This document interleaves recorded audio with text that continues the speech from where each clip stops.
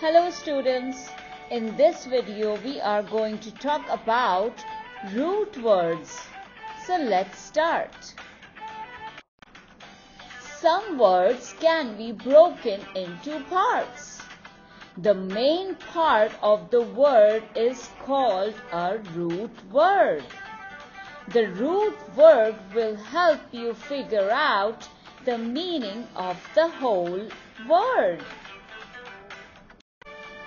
For example, to help means to make it easier for someone to do something. Let's use the word help in different ways in our sentences. Help. Mujtaba will help us learn about desert plants. Helper. He is a great helper. Helpful. He is a very helpful person helping. He is helping us learn about cactuses.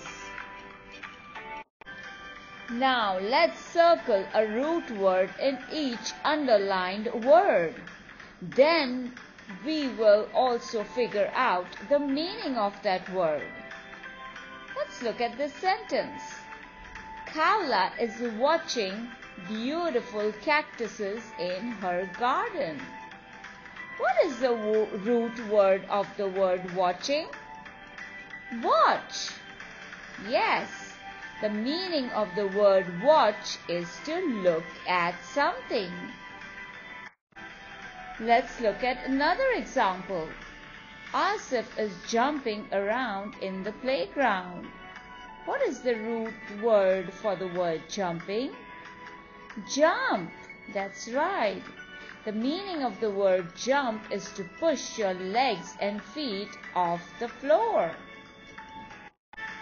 Dua is cleaning her room. The word cleaning has a root word clean.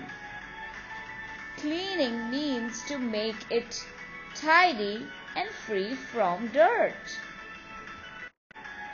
Fahad rushed to the mall to buy a latest game.